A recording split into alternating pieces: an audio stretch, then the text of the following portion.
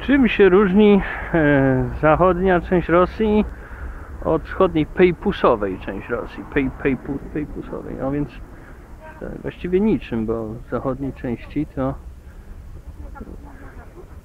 pływają biełuchy, a w pejpusowej bieługi. No.